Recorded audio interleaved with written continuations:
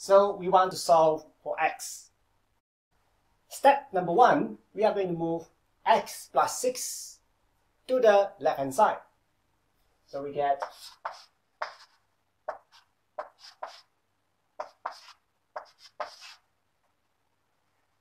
and then we are going to factorize this.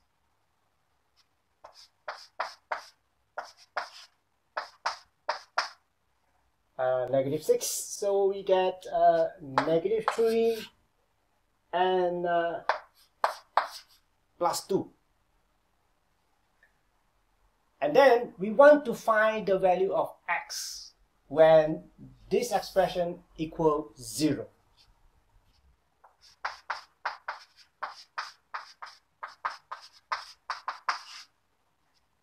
So what we get here is x equal 3 and also x equal negative 2. Of course, we can find the value of x using other methods, such as the one that we have just learned, the completing the square method, or we can use the formula. After we get this one, we can start to sketch the graph.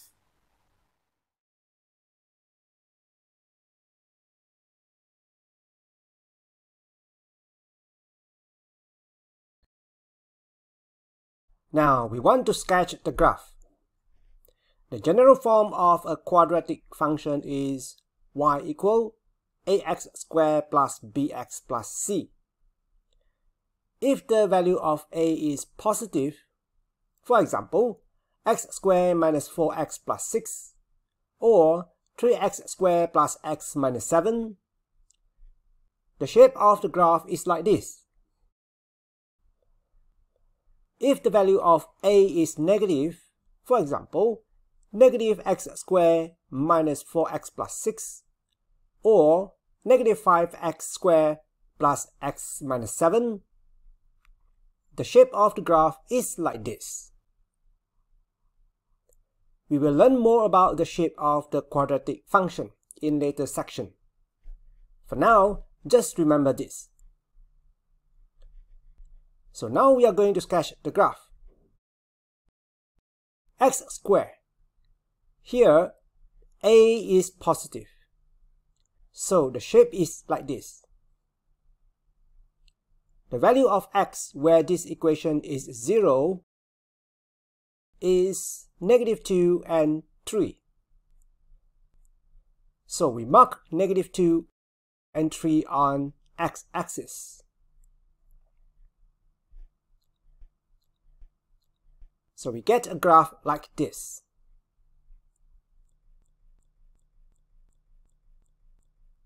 Here is where x squared minus x minus 6 greater than 0.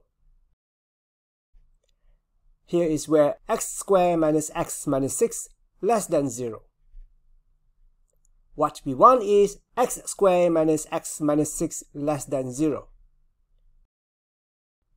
So the x value where x squared minus x minus 6 is less than 0 is here. So the answer is x is greater than negative 2 but less than 3.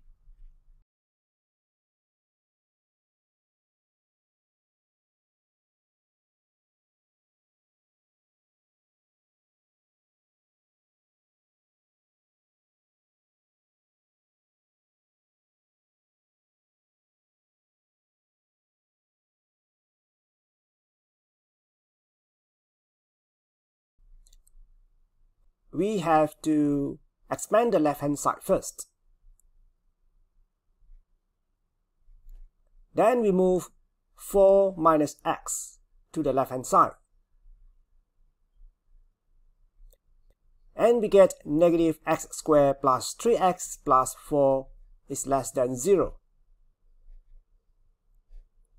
We factorize it again. And we get negative x plus 4 times x plus 1. So if negative x plus 4 times x plus 1 equals 0, then x equals 4 and negative 1. Now we can sketch the graph. For y equal negative x squared plus 3x plus 4. The coefficient here is negative. So the shape of the quadratic equation is like this. The x values at the x-axis is 4 and negative 1. So we get a graph like this.